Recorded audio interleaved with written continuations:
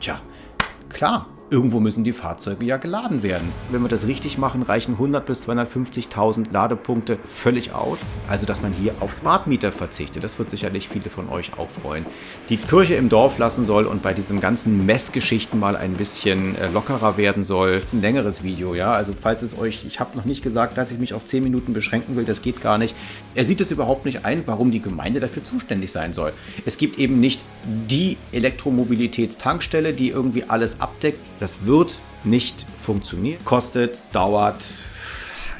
Ja, hallo, herzlich willkommen zu diesem neuen Video. Es geht in diesem Video ganz speziell mal wieder um das Thema Ladeinfrastruktur. Und es gibt neue Informationen dazu. Und wenn ihr daran interessiert seid, bleibt unbedingt dran. Das wird wirklich spannend. Viel Spaß dabei. Ja, dieses Video richtet sich an alle von euch, die sich mit dem Thema Ladeinfrastruktur auseinandersetzen. Das ist im Prinzip also fast zwangsläufig jeder von euch, der schon ein Elektroauto oder ein anderes Elektrofahrzeug hat. Vorzugswahrscheinlich ein Elektrofahrzeug ähm, auf vier Rädern oder auf drei Rädern. Ähm, bei den anderen, bei den zwei Rädern kann man ja häufig den Akku rausnehmen und es gegebenenfalls auch zu Hause laden, ist also dann eher ein geringeres Problem. Vielleicht eher, wenn man unterwegs ist. Aber auch natürlich an alle, die sich für den Kauf eines Elektrofahrzeugs interessieren, denn ihr kennt das alle, das ist immer irgendwie das Thema wo und wie lade ich denn eigentlich dann dieses Fahrzeug, wenn ich es denn dann erstmal habe. Ja, es hat anscheinend leider erst einen Krieg gebraucht, ehe das Thema Elektromobilität und äh, Ladeinfrastruktur, erneuerbare Energien, alles was damit zusammenhängt, anscheinend so richtig bei allen irgendwie angekommen ist. Also die äh, endliche Reichweite fossiler äh, Kraftstoffe, Energieträger, auch das Klima hat nicht gereicht, auch das Urteil des Bundesverfassungsgerichtes hatte irgendwie nicht diesen Impact wie jetzt dieser furchtbare Krieg, den, äh, der dort in, in, der Ukraine geführt wird. Und ähm, ja, in dem Zusammenhang geht es eben auch bei dem ganzen Thema Ladeinfrastruktur jetzt wirklich richtig weiter. Und ich möchte euch in diesem Video ähm, zwei äh, Positionspapiere, das sind eigentlich drei Positionspapiere vorstellen die alle etwas miteinander zu tun haben. Die ersten beiden beziehen sich auf die Planungen vom Bundesministerium für Verkehr und Digitales oder Digitales und Verkehr, ich, ich weiß nicht genau, äh, wie das heißt. Die planen nämlich einen Masterplan Ladeinfrastruktur 2.0 und dann gibt es dazu noch ein Papier aus der deutschen Wohnungswirtschaft und alles hängt natürlich miteinander zusammen, denn klar, es geht letztlich darum, wo und wie wir in Zukunft unsere Elektrofahrzeuge hoffentlich noch besser und einfacher laden, als das bisher der Fall ist. Okay, dann würde ich einfach sagen, wir legen mal los. Und zwar habe ich als erstes für euch hier mal eingeblendet die Webseite vom Umweltbundesamt. Und zwar geht es hier um die Information, die neulich rausgekommen ist, nämlich wie sieht es eigentlich mit den CO2-Emissionen in Deutschland im Jahre 2021 aus? Und ihr habt sicherlich die Informationen gehört, nämlich, ähm, tja, die, äh, die Treibhausgasemissionen sind angestiegen und natürlich auch im Verkehrsbereich. Das ist ja sowieso das ganz große Sorgenkind, was wir haben. Und hier könnt ihr mal sehen, nämlich die Treibhausgasemissionen liegen im Moment im Verkehrsbereich 1,2 Prozent über dem Wert von 2020. Das sind also drei Millionen Tonnen.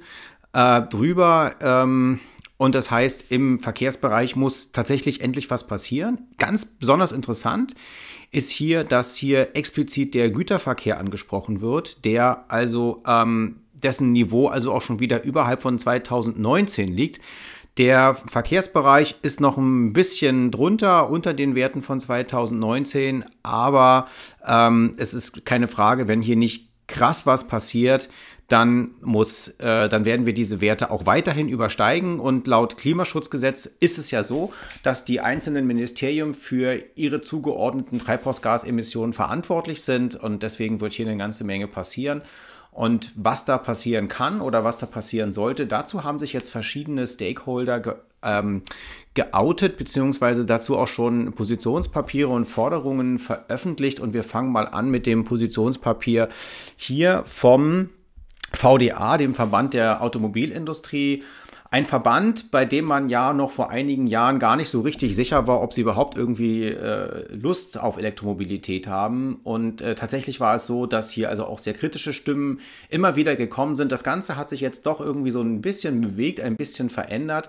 Ähm, die stehen sicherlich auch so ein bisschen in der Zwickmühle zwischen dem, was eigentlich nötig ist und dem, was ihnen halt die Hersteller ins Ohr flüstern. Aber lasst uns mal hier in dieses Positionspapier reingucken. Es geht also um ein Positionspapier zu diesem geplanten Masterplan Ladeinfrastruktur 2.0, das wie gesagt vom Bundesministerium für DV, Digitales und Verkehr ausgearbeitet wird, kommen soll, wie auch immer. Und hier steht ganz klar Empfehlungen der Automobilindustrie. Ja, also ähm, das ist wahrscheinlich das, was früher so ein bisschen in Hinterzimmern besprochen wurde. Jetzt hier offen. Und schauen wir mal rein. Ich habe äh, das Papier durchgeguckt. Das sind neun Seiten. Wie immer bei diesen Walkthroughs, das kennt ihr schon von uns hier auf dem Kanal, konzentrieren wir uns ein bisschen auf das, was für uns als Privatnutzer ganz besonders wichtig ist. Das heißt, bestimmte Dinge überspringen wir immer. Wir verlinken natürlich alles. Das heißt, ihr könnt in den Show Notes äh, findet ihr die Links und könnt euch entsprechend die Positionspapiere und all diese ganzen Dinge, über die wir hier sprechen, auch nochmal in aller Ruhe angucken. Okay, den Hintergrund, den überspringen wir. Es geht natürlich logischerweise um das Thema Klimaschutz, ähm, wie man die äh, entsprechenden Ziele erreichen kann und äh, die Empfehlungen fangen an. Die Empfehlungen hier in diesem äh, Positionspapier beziehen sich auf verschiedene Ebenen. Und wir fangen mal hier an. Es geht hier los mit der Planung auf der Bundesebene, was also der VDA dem Bund praktisch sagt, hey, so stellen wir uns das vor, so könnte das weitergehen.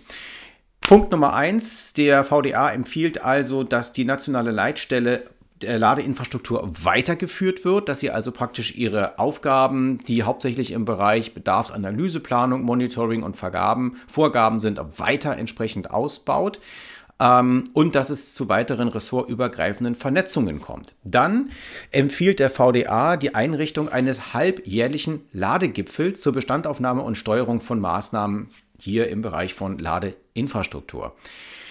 Der Punkt, den wir natürlich alle auch schon immer wieder gefordert haben und gesagt haben, es kann nicht sein, dass die Ladeinfrastruktur dem Hochlauf und dem, dem Marktgeschehen hinterherläuft, ist nämlich, dass die Ladeinfrastruktur immer schon ein bisschen voraus sein muss. Und das fordert auch jetzt der VDA, also ein vorauseilender Aufbau der Ladeinfrastruktur.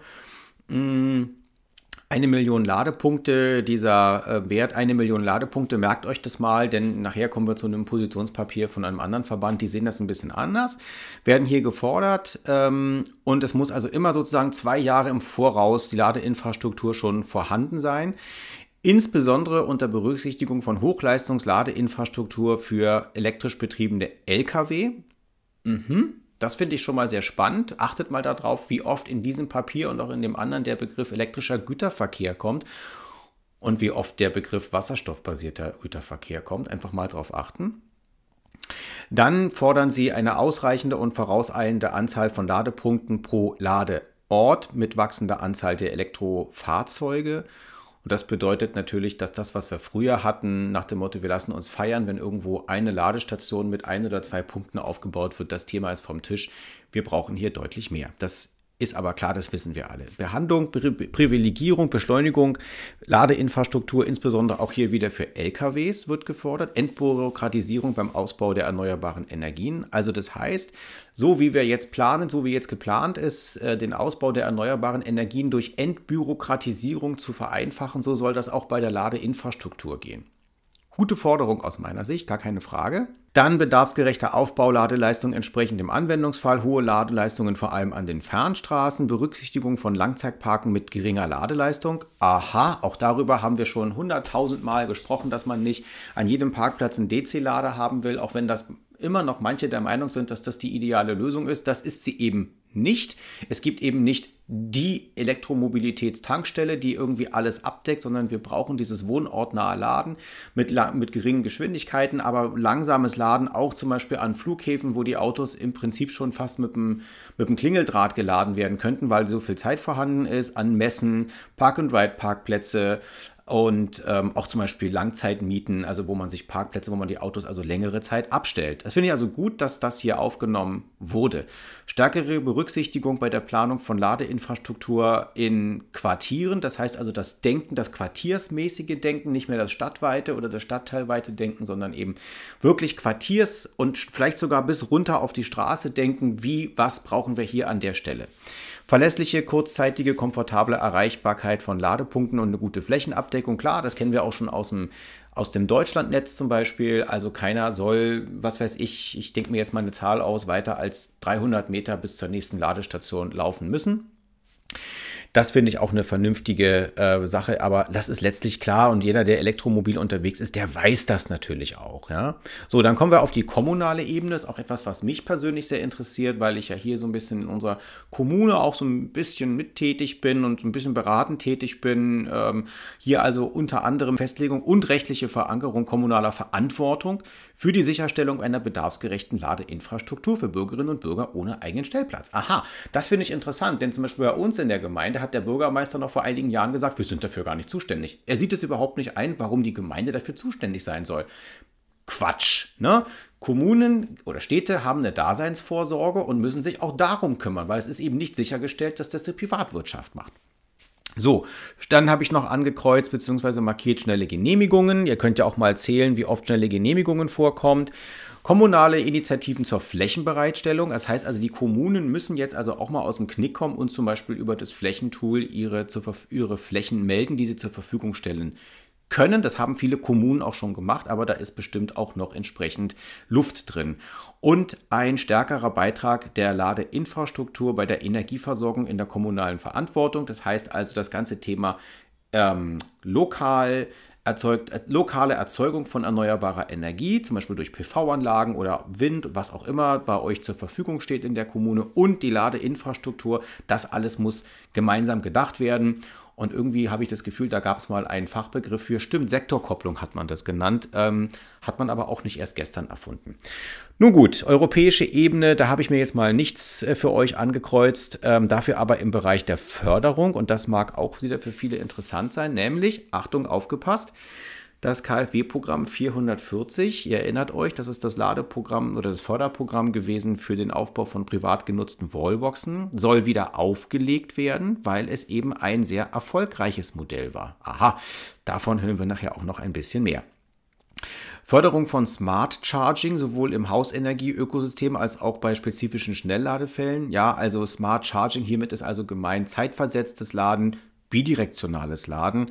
Finde ich alles große Klasse. Haben wir auch schon oftmals drüber gesprochen. Gut, dass es jetzt hier endlich Einzug findet, dass es eben wirklich Sinn macht, das zeitversetzte Laden zu fördern, beziehungsweise es eben so entsprechend auch automatisch steuern zu lassen und auch endlich beim Thema bidirektionalem Laden mal den Hebel umzulegen, denn ähm, es ist natürlich totaler Unfug, wenn wir darüber reden, dass ähm, Verteilnetze zu schwach sind, wenn da aber schon 20 E-Autos stehen, die alle auch mal dafür mitgenutzt werden könnten, Energie ins Netz zurückzuspeisen. Vielleicht senkt das auch ein bisschen die Probleme. Dann Förderung von Ladeinfrastruktur in Wohneigentumsgemeinschaften unter Berücksichtigung hoher Initialkosten. Das ist richtig. Ladeinfrastruktur zu schaffen in Tiefgaragen, wie auch immer, für 30, 40, 60 Fahrzeuge kostet Geld. Und ähm, hier soll es anscheinend also eine Art Förderung oder irgend sowas geben. Installationsbefähigung in Verbindung mit dem Hausenergiesystem. Dazu bleibt dran, wenn ihr dazu zum Thema Wohnen, Wohnungswirtschaft, wie die Ladeinfrastruktur planen. Das kommt nämlich auch noch. Das wird übrigens ein längeres Video, ja. Also falls es euch, ich habe noch nicht gesagt, dass ich mich auf 10 Minuten beschränken will, das geht gar nicht. Ich glaube, wir werden eher so eine halbe Stunde hier miteinander zubringen. Also falls ihr es noch nicht gemacht habt, dann könnt ihr das Video jetzt anhalten. Holt euch ein bisschen Popcorn, Gemüsesticks, was ordentliches zu trinken. Das Ganze wird hier noch einen Augenblick dauern, aber ich verspreche euch, es wird, es geht der Schlag auf Schlag weiter. Okay. Ja, Mittelbereitstellung für Bundes- und Kommunalebene ist klar. Ähm, so, dann Nutzfahrzeugspezifische Förderung. Ein Deutschlandnetz für LKWs. Wow.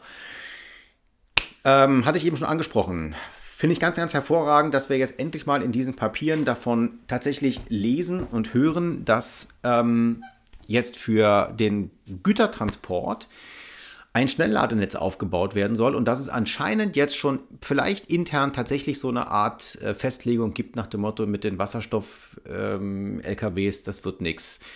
Das machen wir batterieelektrisch, aber dafür braucht man natürlich jetzt ein entsprechendes Hochleistungsschnellladenetz, was sicherlich nochmal eine Spur leistungsfähiger sein muss als das, was wir jetzt äh, bezüglich ähm, PKWs sehen. Also ich könnte mir durchaus vorstellen, dass wir dann hier Charger haben mit 1 bis 2 Megawatt Leistung pro Ladepunkt. Und das bedeutet natürlich wieder hinsichtlich der Netzanbindung völlig neue Herausforderungen.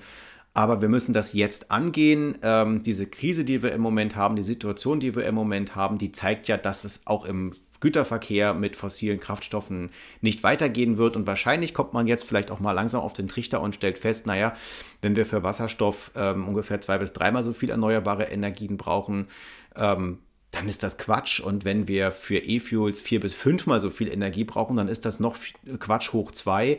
Also lasst es uns bitte gleich mit Strom machen. Das ist eben einfach das Effizienteste. Gut, also jagt euch das mal Hochleistungsnadelets für LKWs. Finde ich klasse. Nutzerorientierung habe ich auch mal übersprungen. Energiewirtschaft. Die Energiewirtschaft ähm, muss also die, die Ladebedarfsplanung für Pkw und Lkw in die Netzbedarfsplanung aufnehmen wunderbar. Alles, was jetzt neu gemacht wird, muss Stichwort Sektorkopplung, all dies mitdenken. Es reicht eben nicht mehr einfach nur in, in Richtung Wohnung irgendwie zu denken, sondern es muss jetzt gleich Mobilität, Heizen, all das mit, so mitgedacht werden, um die Netze entsprechend gleich von Anfang an fit zu machen bzw. sie nachzusteuern. Anreize für flexibles Laden, Entladen von Fahrzeugen durch variable Tarife hatten wir schon. Wunderbar. Zustimmung, können wir einen Check hinten machen und Beschleunigung von, Beschleunigung von Genehmigungsverfahren. Hatte ich euch ja vorhin gesagt, zählt mal mit, wie oft das kommt. Ja, hurra, wir sind in Deutschland. Okay, also das war der VDA, der sich dazu geäußert hat. Jetzt hier noch der Punkt Netzintegration von Elektrofahrzeugen. Jetzt kommt wieder die Forderung nach dynamischen Netzentgelten zur Vermeidung von Lastspitzen und Ausgleich von erneuerbaren Energien Einspeisespitzen durch lokale Flexibilität haben wir schon oftmals gesagt. Warum tun wir das nicht endlich? Schaffung von lokal marktbasierten Flexibilitätsmärkten zur Optimierung der Verteilnetze. Das ist im Prinzip das gleiche, nur auf lokaler Ebene. Dann hier unten mobiles Speichern am Regelenergiemarkt. Also lasst uns doch endlich bitte Heimspeicher und Pkw-Speicher ähm, in diesen Bereich der Regelenergie mit überführen. Batterien sind das Beste, was man dafür haben kann. Schaffung von Rechtsrahmen für bidirektionales Laden. Also, na, ihr merkt, und Festlegung von Messkonzepten mit Augenmaß. Das heißt also ganz einfach, dass man jetzt irgendwann mal die Kirche im Dorf lassen soll und bei diesen ganzen Messgeschichten mal ein bisschen äh, lockerer werden soll und Lade- und Einspeisevorgänge ähm, für die Lade- und Einspeisevorgänge von bidirektionalem Laden. Also, dass man hier auf Smart Meter verzichtet. Das wird sicherlich viele von euch auch freuen, das mal hier zu lesen. Also, ihr merkt, da, sind, da ist viel Gutes dabei. Und ähm, wir gucken jetzt mal gleich weiter, was der BDEW dazu sagt. Der BDEW, den haben wir hier ja auch öfters schon mal im Programm sozusagen gehabt mit seinen Positionspapieren, Forderungen und Aussagen. Die sind da sehr emsig, was ich aber auch gut finde. Die haben auch ein Positionspapier dazu rausgebracht.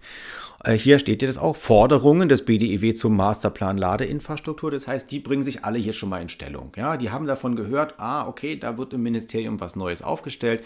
Dann werden wir mal gleich unsere Forderungen raushauen. Aber beim VDA haben wir gesehen, da war schon ganz gute Sachen dabei, meiner Meinung nach. So, was hat jetzt der BDEW? Was sagt der BDEW dazu? Auch hier lassen wir die Einleitung einfach mal weg, weil das ist irgendwie immer das Gleiche. Was sagt also der BDEW? Der Bedarf an öffentlicher Ladeinfrastruktur ist ein Moving Target. Das finde ich ganz gut, denn der BDEW kritisiert nämlich ein, klar und deutlich diese eine Million, diese Forderung nach einer Million Ladepunkte und sagt, wenn wir das richtig machen, reichen 100 bis 250.000 Ladepunkte öffentliche Ladepunkte völlig aus, wenn man die bedarfsgerecht und auch äh, plant und damit werden sie dann auch volkswirtschaftlich effizient. Sehe ich eigentlich auch so. Es macht wenig Sinn, sich an irgendwelchen Zahlen festzuhalten. Wir müssen aber einfach immer wieder gucken. Es, es wird dann nicht eine Punktlandung geben, das ist klar. Und ähm, ob es jetzt dann 250.000, 300.000 oder vielleicht eine Million ist, das wissen wir heute noch nicht. Wichtig ist hierfür, die orientieren sich an der Zahl 15 Millionen Elektrofahrzeuge bis äh, 2030. Ähm, aber ob es dabei bleiben wird, ist halt die Frage. Ne? Gut, ähm, sie kritisieren also dieses eine Million Ladepunktziel der Bundesregierung, sagen aber eben auch klar, der Markt ist willens und bereit, für 15 Millionen vollelektrische Pkw eine bedarfsgerechte Ladeinfrastruktur zu errichten und zu betreiben.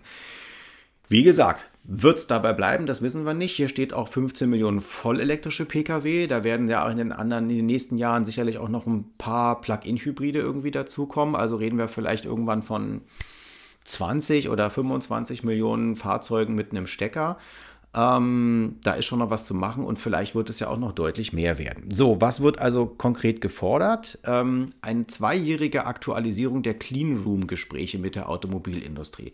Für alle von euch, die sich darunter nichts vorstellen können, was ein Clean Room Gespräch ist, das ist im Prinzip, das sind sagen wir mal, ist der Austausch mit der Automobilindustrie in abhörsicheren Räumen. Ne? Also, dass man sich wirklich unterhält und, und die sagen, was planen wir und was kommt und was brauchen wir und die anderen hören aufmerksam zu.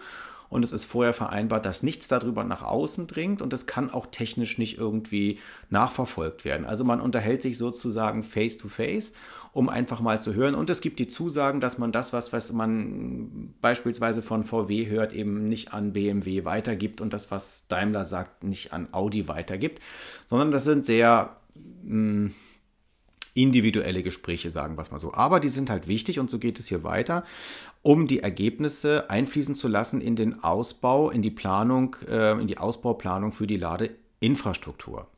Komplett richtig. Ne? Also man muss einfach auch wissen, was planen da eigentlich die Hersteller technisch vom Volumen her und was für Modelle kommen eigentlich dazu. Dann geht es hier um das Thema Regulierungsrahmen für Ladeinfrastruktur. Ihr könnt euch vielleicht daran erinnern, dass 2014, 2015 die Geschichte mit dem Eichrecht irgendwie losging und dass in Folge unheimlich viele Ladestationen umgebaut werden mussten. Manche wurden auch praktisch gleich stillgelegt, weil man gesagt hat, das können wir hier sowieso nicht mehr nachrüsten. Der Neubau, der lohnt sich irgendwie nicht. Ähm, und Interessant ist, dass wir das ja an einigen Ladestationen heute noch sehen, dass die noch nicht eichrechtlich umgebaut wurden. Das heißt, da ist dieser Umbau sogar noch am Machen. Und jetzt sagt der BDEW, und das kann ich auch absolut verstehen, dass man sagt, ähm, es hat keinen Sinn, hier ständig irgendwelche neuen Sachen in den Markt zu bringen, die dann wieder nachgerüstet werden müssen. Ihr müsst jetzt bitte mal einen Investitionsrahmen schaffen, der diese ganzen Unsicherheiten beiseite räumt. Das heißt also, verlässliche Rahmenbedingungen für den Aufbau der Ladeinfrastruktur sind absolut unerlässlich. Keine Frage. Ähm, die Maxime muss hier gelten, weniger ist mehr und natürlich die Genehmigungen müssen beschleunigt werden und das ganze Geschehen muss entbürokratisiert werden. Hatten wir heute schon öfter mal, keine Frage, warum. Da sind wir in Deutschland ja absolute Weltmeister. Das nächste finde ich auch unheimlich spannend. Wir haben oft in dem Kanal auch schon gesagt, ähm, dass laut Energiewirtschaftsgesetz ähm, die Ladesäule beim Ladevorgang der Letztbetreiber, der Letztverbraucher ist, ähm, weil da ist der Zähler eingebaut. Und das bringt Schwierigkeiten mit sich. das macht vielleicht den Aufbau der Ladesäule einfacher, aber für die Nutzer ist es bringt es Nachteile, weil zum Beispiel die Betreiber von Ladesäulen das nicht poolen können. Sie können also nicht sagen, äh, ich kaufe den Strom gleich für X 100 Ladestationen ein und kriegt den deswegen weniger, sondern sie müssen das für jede Ladesäule irgendwie einzeln machen, was natürlich ähm, Skalierungsvorteile irgendwie zunichte macht. Und ich bin jetzt kein Jurist, aber wenn ich hier lese, Letztverbraucher ist jede natürliche oder juristische Person, die Strom verbraucht. Der Strombezug der Ladepunkte für Elektromobile und der Strombezug für Landstromanlagen steht dem Letztverbrauch gleich, dann bedeutet das für mich, wenn ich es richtig lese, dass das geändert werden soll und jetzt das Auto der Letztverbraucher wird.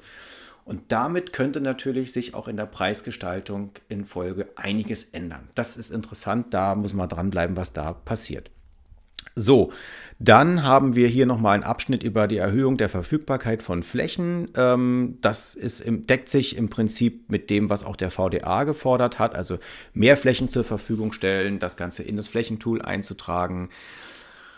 Äh, einfach Platz zu schaffen und Plätze auszuweisen für den Aufbau von Ladeinfrastruktur. Dann finde ich auch sehr spannend, einen neuen Begriff, den ich auch noch nicht so kannte, nämlich ähm, Genehmigungsprozesse müssen E-Mobility ready gemacht werden. Das heißt, wenn immer irgendwo etwas, sage ich jetzt mal vereinfacht, gebaut, gemacht werden soll, dann muss das alles E-Mobil ready sein, damit sowas nicht passiert wie in meiner Kommune, nämlich, dass man da vorne einen Parkplatz baut für, ich glaube, 170 Parkplätze keine Leerrohre verlegt, obwohl wir sie darauf hingewiesen haben, irgendwo eine Ladesäule hinbaut und der Meinung ist, dann war's, wir sind fertig. Ja? Also da gibt es keine Solarüberdachung, da gibt es keine Leerrohre für Ladestationen, da gibt es überhaupt nichts dafür. Da ist einfach nur eine Fläche betoniert worden. Ja? Und das ist natürlich absoluter Unfug, weil letztlich auch als dieser Parkplatz gebaut wurde, schon klar war, da passiert was. Aber wenn man eben, wie gesagt, nicht elektrisch mobil ist und sich mit dem Thema nicht auseinandersetzt, dann muss es gesetzlich kommen. Also hier eine Immobil-Ready-Vorgabe. Standardisierung, also Genehmigungsverfahren sollen standardisiert werden, zum Beispiel beim bei der ähm, Betrieb oder in hinsichtlich von Autobahnen, aber natürlich auch bis runter auf die Kommunen muss das alles irgendwie ähm, standardisiert und vereinfacht werden. Es soll Best-Practice-Beispiele geben für kommunale Genehmigungsprozesse, dass man sich also angucken kann, Mensch, meine Nachbargemeinde, wie hat es denn die gemacht? Super, das gucke ich mir mal an, dann brauche ich nicht denn, ähm, das Rad neu zu erfinden. Dann auch hier steht Bewusstseinsschaffung bei, der, bei Städten und Gemeinden für anstehende Genehmigungsbedarfe im Bereich E-Mobilität, also Elektromobilität einfach immer mitdenken, Digitalisierung und Teilautomatisierung der Antrags- und Genehmigungsprozesse. Also ihr merkt, die Dinge wiederholen sich, es sind immer die, mehr oder weniger die gleichen Forderungen. So, das äh, können wir hier jetzt einfach auch mal kurz überspringen. Das hatte ich mir zwar angemarkert, aber das können wir einfach mal überspringen. Und dann kommen wir hier zu dem Punkt, ähm, nämlich man will einfach IT-Technik nutzen, um den Aufbau der Ladeinfrastruktur ähm, besser zu planen. Also hier zum Beispiel anonymisierte Daten zu bekommen, wo private Elektrofahrzeuge denn zugelassen werden, um letztlich nachher die Netzplanung auch zu vereinfachen. Dann auch sehr spannend, ich hatte es vorhin schon angesprochen, nämlich das Thema, gibt es vielleicht eine Neuauflage vom KfW-Programm 440? Das wird hier im Prinzip auch gefordert, allerdings unter anderen Rahmenbedingungen, nämlich wird hier, werden hier technische und rechtliche Grundlagen für die Steuerbarkeit gefordert. Bisher war das ja so, dass eine, Lade, eine Ladebox, die ihr euch gekauft habt über das Förderprogramm, irgendwie steuerbar sein musste, aber wie genau und was da eigentlich jetzt genau sein soll, war nicht klar. Und jetzt wird hier gesagt, da müssen wir jetzt endlich mal eine rechtliche Grundlagen und technische Grundlagen schaffen. Also auch hier eine Standardisierung, dass dann auch nicht jeder Netzbetreiber sagen kann, ich möchte das über LTE steuern und der nächste sagt, ich will es hart abschalten und der dritte sagt, ich, ich schicke da einen Techniker jeden Tag hin, der die Ladebox rauf und runter regelt, keine Ahnung. Das ist natürlich alles kompletter Unfug. Ja? Das muss genormt werden, dass das bundesweit einheitlich ist und fertig ist die Geschichte. Das haben sie aber eben über viele Jahre nicht geschafft und ähm, ja, es braucht anscheinend einen neuen Anlauf dazu. Dann haben wir hier auch den Punkt Netzintegration von Batteriespeichern als eine schnelle Alternative zum Netzausbau. Ach, hätte ich jetzt beinahe gesagt. Wer hätte das vermutet? Dann geht es um das private Laden. Wie gesagt, auch hier nochmal die Forderung des 440er KfW-Programm neu aufzulegen. Ähm, Gebäuderichtlinien, GEIG haben wir auch darüber berichtet, soll zügig umgesetzt werden. Und alle Bundesbehörden, habe ich mal angemarkert, mit den dazugehörigen Parkflächen sollen mit Ladeinfrastruktur zur dienstlichen und privaten Nutzung ausgestattet werden. Tja, klar, irgendwo müssen die Fahrzeuge ja geladen werden. Und wenn der Bund das schon fordert, dann kann er doch auch mal selber vorangehen und das machen. Ist ja nicht so schwer. Ne? Ist ja nicht so, dass es das noch nie irgendwie gegeben hat. Hier dann ist auch nochmal das Thema Schwerlastverkehr angesprochen. Ähm, Ladeinfrastrukturplanung für E-Lkw, Verfügbarkeit geeigneter Flächen. Also ähm, letztlich wird es darauf hinauslaufen, dass wir Tankstellen abbauen und dort äh, Megacharger hinbauen. Ich glaube, da führt dann letztlich gar kein Weg mehr dran vorbei. So, und das war es, glaube ich. Dann hier gibt es noch flankierende Maßnahmen, Implementierung von der ISO 15118. Darüber haben wir auch schon berichted. Also da geht es um Plug and Charge. Die ähm, Bundesförderung für Plug-in-Hybride soll entsprechend angepasst werden. Und das finde ich jetzt das finde ich jetzt spannend hier. Die sagen nämlich nicht nur, dass es darum geht, den elektrischen Nutzungsgrad zu steigern, sondern sie sagen auch noch, in Zukunft werden nur noch ähm, Plug-in-Hybride gefördert, die dreiphasig und mit 11 kW laden können. Das heißt also, Plug-in-Hybride brauchen in Zukunft also eine höhere Reichweite, 60 Kilometer nach WLTP im Moment, 80 in zwei oder drei Jahren. Sie müssen, ähm, sagen wir mal, ähm, na schnell, ich habe jetzt schnellladefähig, wollte ich sagen, das ist nicht richtig, aber sie müssen beschleunigtes, also naja, normal laden bis 11 kW können, also der klassische Plug-in-Hybrid, der da mit 3,7 kW an so einer öffentlichen Ladestation nuckelt, das muss passé sein und eben entsprechend muss der elektrische Nutzungsgrad höher werden. Also die, die Schlinge zieht sich um die Plug-in-Hybride so ein bisschen zu. Und natürlich auch eine diskriminierungsfreie Ausweisung aller öffentlich zugänglichen Ladeinfrastruktur in den Navigationssystemen der Fahrzeuge. Klar, das finde ich auch gar keine schlechte Idee, dass das tatsächlich gefordert wird, dass die Hersteller das umsetzen müssen. Und das wäre es dann also aus dem Positionspapier des BDEW. Abschaffung Nachtfahrverbot wird dann hier noch gefordert für E-Lkw und eine rechtliche Anpassung zur Attraktivitätssteigerung ähm, für die elektrischen Antriebe im Schwerlastverkehr. Also ich finde es bemerkenswert, dass wie oft hier in diesen beiden Positionspapieren gesagt wird, es muss alles entbürokratisiert werden, es muss alles wesentlich schneller gehen, es muss alles mitgedacht werden.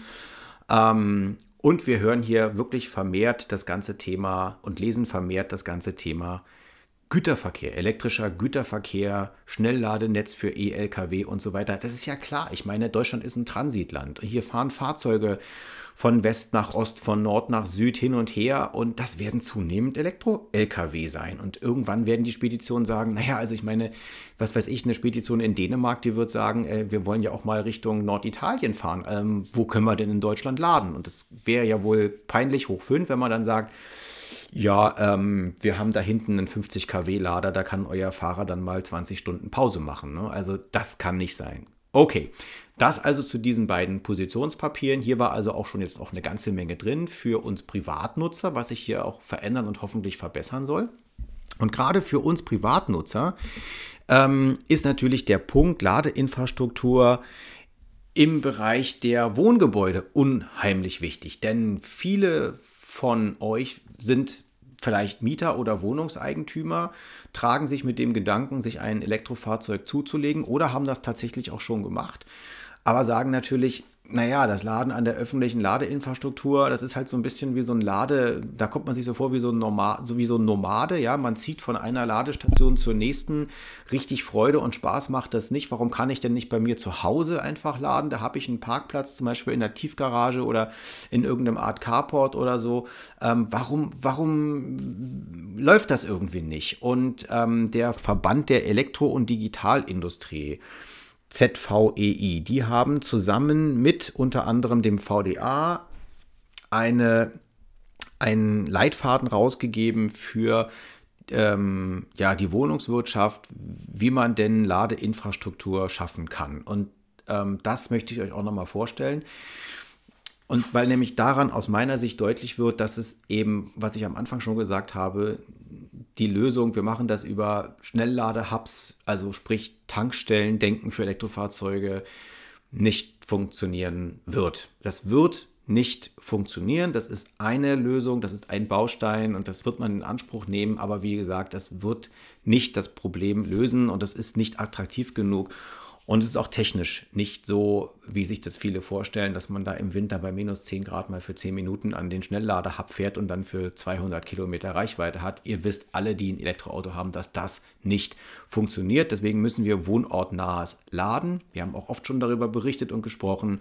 Und ähm, in diesem Leitfaden gibt es spannende Hinweise dazu. Also los geht's. Ähm, habt ihr noch genügend Popcorn? Wenn nicht, steht noch mal schnell auf und holt euch noch einen kleinen Nachschub. Ähm, Im Vorwort wird das schon angekündigt. Nämlich da steht, den einzigen oder perfekten Weg, die benötigte Ladeinfrastruktur aufzubauen, den gibt es nicht. Punkt. Kann man stehen lassen, habe ich eben gesagt. Dennoch sollte jetzt eine unternehmensindividuelle Strategie entwickelt werden, denn wir wissen alle, dass Umbauprozesse Zeit benötigen. Dabei kann das Potenzial an vermietbaren Stellplätzen durch Ladeinfrastruktur möglicherweise noch deutlich gesteigert werden. Also es geht nicht nur darum, Ladeinfrastruktur zu schaffen, sondern vielleicht daraus auch noch Geld zu machen. Aber das ist ja auch in Ordnung.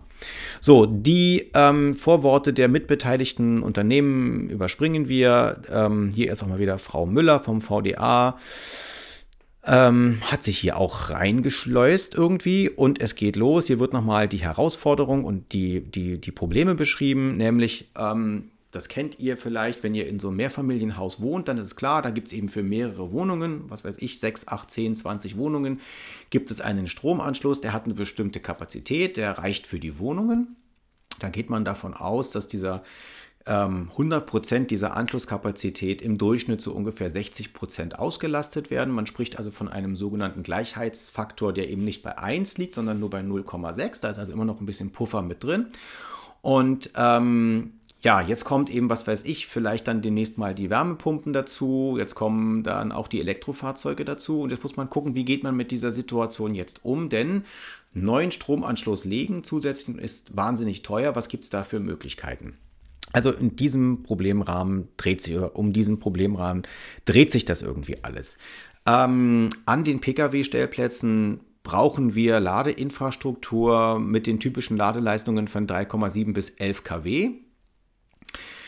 Ähm, ich glaube, es könnte sogar weniger sogar sein, 2 kW, aber okay, von 3,7 bis 11 kW braucht man hier ähm, Ladeinfrastruktur. Und wenn wir eben jetzt zum Beispiel anfangen, dort zum Beispiel Wallboxen zu installieren und jede Wallbox ähm, bietet 11 kW, dann ist klar, dass man dann diesen, diese Reserve, diese Reservekapazität, die man an so einem Anschluss noch hat, ganz schnell ausgeschöpft hat obwohl vielleicht gleich gar nicht alle Fahrzeuge gleichzeitig laden. Und hier braucht es intelligente Lösungen, dass man das entsprechend nutzen kann. So, und welche Szenarien bieten sich denn jetzt? Ähm, es werden vier Szenarien genannt, die sich ähm, ergeben können. Ich zoome das hier mal noch ein bisschen für euch ran. Nämlich das erste Szenario ist, ähm, man nutzt eben sozusagen diese, diese Reserve, die man in diesem Anschluss hat, die bisher nicht genutzt wird, ähm, und sagt, okay, wir haben eine Reserve X äh, und die teilen wir durch 11 kW und dann kommt ein ganzzahliger Wert raus, der wird entsprechend abgerundet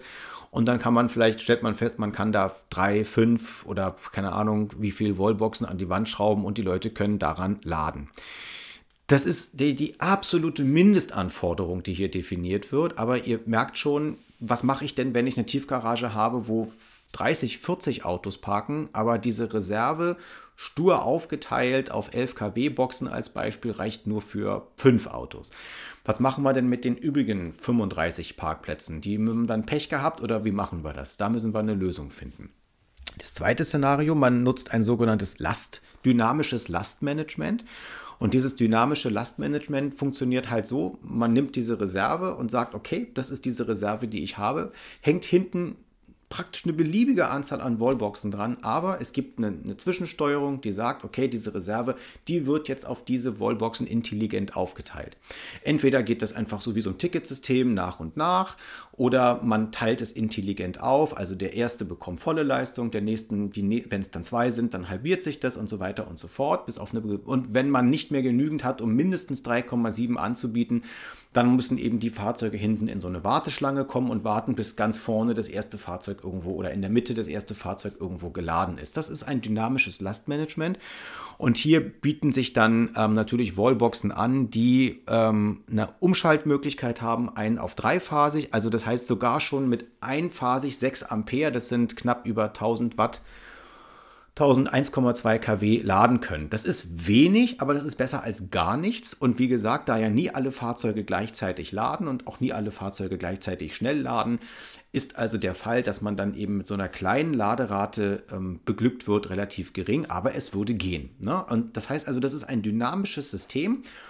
Und der nächste Vorteil, der, der auch noch dazu kommt, ist, dass ja zum Beispiel über Nacht, also sagen wir mal von gefühlt 23 Uhr bis morgens um 5, halb 6 ja relativ wenig Strom aus in diesem Haus gebraucht wird. Die Leute schlafen überwiegend, sodass dann nicht nur diese Reserve, sondern der fast schon der gesamte, die gesamte Kapazität genutzt werden kann und damit plötzlich vielleicht aus einer Reserve von vielleicht nur 30 kW plötzlich 80 kW werden und ich in dieser Zeit also viel mehr Kilowattstunden in die Autos laden kann als tagsüber. Aber auch tagsüber, wenn vielleicht Teile der, der, der Bewohner dann außer Haus sind, die sind einkaufen, die sind arbeiten, was auch immer, steht auch wieder eine höhere Kapazität zur Verfügung. Also ich nehme immer die gesamte zur Verfügung stehende Kapazität, die nicht gerade im Haus gebraucht wird, um sie auf die Autos zu verteilen. Und ich glaube, ihr merkt jetzt schon, was für einen enormen Vorteil so ein dynamisches Lastmanagement hat im Vergleich zu einem statischen oder zu gar keinem Lastmanagement.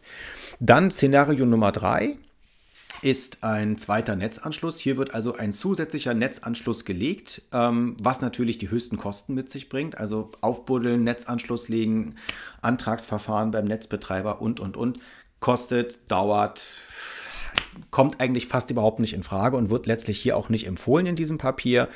Und das letzte ist ähm, das Szenario Nummer vier. Und hier nimmt man nämlich jetzt auch, und deswegen habe ich das ja auch hier mit reingenommen, das Thema bidirektionales Laden mit auf. Berücksichtigt also gleich, dass die Möglichkeit vorhanden ist, dass Fahrzeuge ja auch die Energie, die sie nachts aufgenommen haben, dann auch wieder an andere Fahrzeuge weitergeben könnten. Das Ganze jetzt noch kombiniert mit einer PV-Anlage und einem Speicher hört sich nach einer leckeren Sache an. So, an dieser Grafik gehen wir mal einen beispielhaften ähm, Weg durch, wie man das jetzt ermitteln kann, welches Szenario jetzt in Frage kommt. Also nehmen wir mal an, wir wollen Wallboxen bauen. Dann stellen wir fest, unser Netzanschluss trägt eine zusätzliche Leistung. Wunderbar, dann ist es schon mal sehr gut. Dann können wir gleich hier zum Punkt kommen, Festlegung des Messkonzeptes. Wenn wir sagen Nein, dann müssen wir entweder den Netzanschluss erweitern, Kabel austauschen oder einen zweiten Netzanschluss machen oder eben dynamisches Lastmanagement nutzen.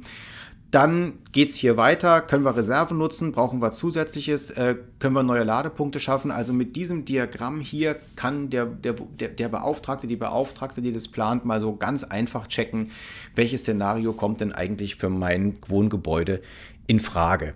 Dann guckt man sich die einzelnen Ablaufpunkte an. Die werden hier dann nochmal entsprechend aufgeführt. Und hier wird auch nochmal ganz klar gesagt, ähm, die, die zukunftssichere Ladeinfrastruktur, ich zoome euch das mal hier ein bisschen an, basiert eben also auf Mode 3 Wallboxen, also ganz klassischen Wallbox mit einem dreiphasigen Anschluss. Wie gesagt, möglichst auch noch eine Wallbox, die von ein auf dreiphasig umschalten kann. Also ja, die sagen kann, äh, na, ne, im optimalen Fall lädst du mit 11 kW, aber wenn es nicht geht, kann es eben runtergehen bis einphasig äh, 1,2 kW. Dann betrachtet man hier eben die entsprechend, zu, die entsprechend benötigten Ladeleistungen. Bei BEVs liegen die irgendwo heute standardmäßig zwischen 7,4, 11 bis maximal 22 kW. 22 kW wird man wahrscheinlich hier gar nicht mehr irgendwie abbilden. Und bei den Plugins ist es halt doch noch so, dass die im Moment eher ein- bis zweiphasig ähm, laden. In Zukunft aber, das haben wir ja gerade auch gehört, wahrscheinlich sogar dreiphasig laden werden.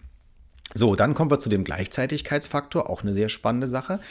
Nämlich es wird gesagt, dass äh, je größer die Anzahl der Ladepunkte ist, der Gleichzeitigkeitsfaktor immer weiter absinkt. Und das ist auch klar und ich erinnere an unsere Videos zum Beispiel mit der NBW beziehungsweise mit der Netze BW, ähm, die diese Feldversuche ja auch schon durchgeführt haben und weiter durchführen und die festgestellt haben, also selbst eine Tiefgarage mit was waren das, 50, 52 Ladepunkten können theoretisch mit einem 22 kW Anschluss so versorgt werden, dass niemand einen Komfort, ein, ein, ähm, Komfort irgendwie ähm, hat. Und je mehr Fahrzeuge sozusagen an einer Stelle an einen Anschluss sind, desto geringer ist die Wahrscheinlichkeit, dass die alle gleichzeitig laden. Also eigentlich ist es gut, dass man ähm, dass man, nein, andersrum gesagt, eigentlich muss man gerade vor großen Parkplatzanlagen weniger Angst haben als vor kleinen. Denn da werden die Fahrzeuge eher gleichzeitig laden und je größer der Parkplatz ist, desto stärker verteilt sich das. So, dann werden hier nochmal bestimmte Beispiele genannt. Ich hatte schon so ein bisschen, ähm, schon das alles schon so ein bisschen einbezogen in die Dinge, die ich schon erzählt habe. Da geht es dann nochmal um das statische Lastmanagement, um das dynamische Lastmanagement. Hier nochmal eine schöne Berechnung. 10 Stunden Stellzeit am Ladepunkt. Also man nimmt hier an, dass hm, eine Stellzeit, sagen wir mal, von 20 Uhr bis 6 Uhr morgens ähm, äh, so Durchschnitt ist, dann sind das 10 Stunden im Durchschnitt. Und wenn man das geschickt mit einem dynamischen Lastmanagement macht, dann kann man, wenn normalerweise eben 30 kW äh, Leistung zur Verfügung stehen, plötzlich tatsächlich 300 Kilowattstunden nachts verladen mit so einem intelligenten System. Und das ist schon echt krass. Und wenn man das jetzt mal runterbricht auf einen täglichen Bedarf von ungefähr 8,2 Kilowattstunden bei einem Verbrauch von 20 Kilowattstunden pro 100 Kilometer, dann kann man also dort 36 Fahrzeuge versorgen. Ähm, krass. Und deswegen habe ich da auch das Ausrufezeichen ran gemacht. Also die, Fazit Nummer eins ist ganz klar, hier muss mit einem dynamischen Lastmanagement gearbeitet werden. Dann gibt es noch mal was zum Gleichzeitigkeitsfaktor, was ich eben auch gesagt habe. Je mehr Fahrzeuge laden, desto besser eigentlich ähm, und desto einfacher wird die Geschichte. Hier ist nochmal der ähm, Gleichzeitigkeitsfaktor grafisch dargestellt. Es ist klar, bei 0 bzw. einem Fahrzeug tendiert er eben äh, auf 1 und je mehr Ladestationen sind, desto geringer wird dieser Gleichzeitigkeitsfaktor. Dann gibt es in diesem Dokument Tipps und Tricks. Was, äh, welche Szenarien sind denn besonders gut? Was kann man denn jetzt machen, wenn, ähm, also hier eben nochmal, sorry, ich war eben zu weit, ähm, das Thema unbedingt Mode 3, Wallboxen mit Typ 2 Stecker und maximal 11 kW zu installieren. Dann wird nochmal das Szenario, äh, Szenario angesprochen, ähm, was machen wir denn, wenn jetzt der Netzanschluss doch irgendwie erweitert werden soll? Welche, welche Varianten, welche Möglichkeiten gibt es denn? Das muss ja nicht immer gleich ein neuer Stromanschluss gelegt werden. Es kann auch sein, dass man einfach ähm, den Netzanschluss erweitert, dass man das Kabel austauscht oder dass, wenn es ganz hart auf hart kommt, tatsächlich ein weiterer Netzanschluss gelegt werden muss. So, und das gibt dann natürlich auch noch weitere Vorteile, wenn man tatsächlich einen neuen Netzanschluss macht. Aber da komme ich gleich nochmal drauf. So, dann geht es hier um die Installationsorte, um die Abrechnung. Was gibt es für Möglichkeiten, das Ganze anzuschließen? Da bleiben wir mal stehen. Also es bieten sich drei Möglichkeiten an. Nämlich einmal geht man sozusagen von den Wohnungszählern zu den Wallboxen. Das ist sicherlich die einfachste Variante. Ähm, Oder man geht direkt vom Verteilnetzanschluss an die Wallboxen mit Zählern, die dann also einen eigenen Zähler brauchen. Oder, und das ist wahrscheinlich ähm, das, was man in der Regel machen wird, man wird wahrscheinlich aus meiner Sicht ähm, einen Abzweig machen. Da kommt ein Summenzähler hin und an jeder Wallbox ist ein MID-Zähler drin. Ähm, und das hat den ganz, ganz, ganz großen Vorteil, dass man nämlich dann an dem Punkt hier, wo man einen neuen Zähler, einen neuen Summenzähler setzt, auch die Möglichkeit hat, einen anderen Tarif und einen anderen Versorger zu wählen. Ähm, ich sage gleich, was ich damit meine. Ich gehe nochmal den Schritt zurück. Hier ist es so, dass jeder Wohnungseigentümer oder jeder Mieter, da, der, da die Wallbox ja an seinem eigenen Zähler angeschlossen ist, einen eigenen Stromlieferanten sich auswählen kann. Also meinetwegen Ökostrom, Ökostrom, Kernenergie, ne? was auch immer derjenige gerade eben möchte. Auch die Abrechnung ist sicherlich ganz einfach, weil es wird einfach über den Wohnungsstromverbrauch abgerechnet. Hier braucht man auf jeden Fall einen Backend-Betreiber, weil man ist ja außerhalb des Gebäudes. Ähm, hier müssen die Wallboxen also an einem Backend angeschlossen sein. Und hier ist es so, dass man dieser Zähler zählt, das ist der Stromanschluss. Hier läuft, hier muss man sich auf einen Stromanbieter einigen. Jeder bekommt dann in seiner Wallbox einen geeichten Zähler und dann ne, zählt man das zusammen, dann muss das die Summe ergeben. Hier wird dann individuell abgerechnet. Aber hier gibt es noch einen weiteren Vorteil, denn hier könnte sich jetzt die Hausgemeinschaft oder die Wohnungswirtschaft einigen und sagen, wir machen da gar keinen normalen Anschluss. Wir machen da einen Anschluss nach Energiewirtschaftsgesetz 14a, also unterbrechbar ein, zweimal am Tag und bieten dann eben entsprechend bessere Ladetarife an. Vielleicht kann sich ja die Gemeinschaft dann darauf einigen und sagen, okay, wir verzichten eben darauf, ähm, so wie bei mir, vormittags, nachmittags für 90 Minuten laden zu können, können aber dafür in den übrigen Zeiten ähm, zu 30 Prozent günstigerem Tarifen laden. Das die Möglichkeit, die bleibt dann, die eröffnet sich dann und die sollte man durchaus in Betracht ziehen, denn ob man 28 oder 20 Cent für die Kilowattstunde bezahlt oder 30 statt 40, wie auch immer, macht natürlich auf Dauer schon einen riesen Unterschied. So, das wird dann hier nochmal ein bisschen erläutert. Die einzelnen Vor- und Nachteile. Ähm, tatsächlich wird ähm, diese Anschlussvariante, also die erste Anschlussvariante, dass man also an die Wohnungszähler geht, die wird empfohlen. Und die dritte Variante wird empfohlen. Ja, diese, das ist dann diese Variante hier. Die wird ganz, ganz klar empfohlen. Ähm, auch wenn es hier die Einschränkung gibt, dass man sich nicht mehr für seine Wallbox individuell für einen Stromanbieter entscheiden kann. Man muss sich dann auf einen gemeinsamen einigen, aber hat eben weitere Möglichkeiten, die sonst nicht sind. Ähm, die MID-Zähler in der Wallbox bieten dann natürlich auch die Möglichkeit, zum Beispiel eine Dienstwagenabrechnung zu machen. Das ist auch sicherlich für viele in Zukunft ganz, ganz wichtig. So, dann wird erklärt, warum braucht man ein Lastmanagement nochmal, warum braucht man ein Backend. Das, wie gesagt, ist nicht immer alles nötig, die ökonomischen Aspekte. Und hier wird nochmal ganz klar gesagt, dass private Normalladen über Nacht stellt eine wesentliche Säule der elektromobilen Zukunft dar. Richtig, ich habe es vorhin schon gesagt, man kann es gar nicht oft genug sagen. Also dieses, ne, ich sage es jetzt nochmal, Denken, nur Denken in reinen Schnelllade-Hubs wird nicht funktionieren, ist nicht praxisorientiert. Wir brauchen dieses wohnortnahe Laden in der Tiefgarage, am Stellplatz neben dem Haus, wo auch immer. Da müssen die Wallboxen hängen. Da kann ich mein Auto entspannt anschließen und dann wird auch der Letzte sagen, na, wenn ich bei mir zu Hause laden kann, warum soll ich dann weiter tanken fahren? Bin ich bekloppt, ja. Gut, ja, dann gilt nochmal, hier gibt es nochmal Förderung, Beispielrechnungen und so weiter und so fort. Das ist alles nicht mehr so wahnsinnig interessant oder beziehungsweise es geht dann extrem ins Detail, was jetzt für uns als Normalmenschen gar nicht mehr so wichtig ist. Hier sind nochmal ein paar Beispielrechnungen, die würde ich mal mit ein bisschen Vorsicht genießen, ähm, ob so eine Beispielrechnung dann auch tatsächlich stimmt. Ähm, letztlich kommt dabei raus, dass man für so einen Ladepunkt in einem Mehrfamilienhaus ungefähr 5000 Euro investieren muss. Das scheint jetzt erstmal ganz schön viel Geld, aber wenn man sich überlegt, im klassischen Einfamilienhaus liegt man irgendwo zwischen 1500 und 2000 Euro. Förderung jetzt mal außer Acht. In dem Mehrfamilienhaus ist deutlich mehr zu machen. Es sind ähm, hohe Anforderungen zu erfüllen. Es muss viel gebaut werden. Es muss wahrscheinlich viel Kabel verlegt werden. Dementsprechend ist es einfach ein bisschen teurer. Ähm, wir hatten ja auch in einem der Positionspapiere vorhin, dass das auch gefördert werden soll als Forderung drin. Aber es wird nicht anders gehen. Und letztlich jeder, der mit Wohnungswirtschaft zu tun hat und ein neues Haus plant oder umfangreiche Sanierungen plant, der wäre wahrscheinlich mit dem Puderdeckel gezuckert, wenn er daran nicht von Anfang an denken würde, sondern irgendwann dann denkt, ach, ich rüste das mal nach. Nachrüsten ist immer teurer als alles andere.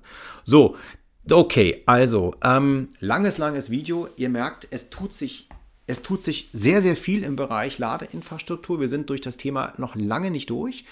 Ähm, es fließen aber immer mehr Erfahrungen ein. Das finde ich sehr, sehr gut. Ähm, vielleicht ein bisschen spät, aber besser spät als nie.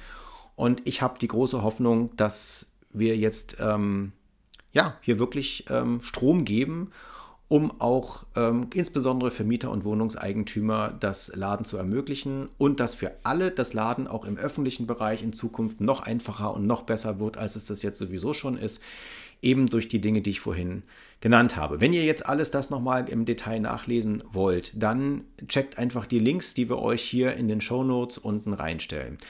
Und sollte bei euch zum Beispiel in eurer Wohnungseigentümergenossenschaft oder in eurem Mietshaus schon das Thema diskutiert worden sein und ihr vielleicht auch schon dort Möglichkeiten habt, dann schreibt doch mal in die Kommentare, wie das bei euch umgesetzt wurde.